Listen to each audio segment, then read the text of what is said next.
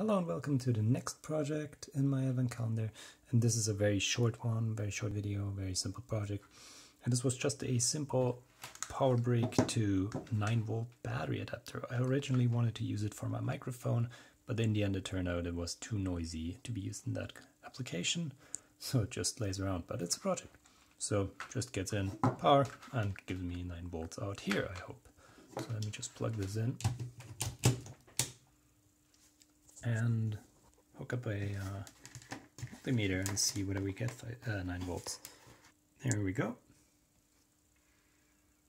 Well, 8.825, I'd say close enough, and it seems fairly stable. But as I said, the noise seemed to be too high uh, to be used in a microphone application.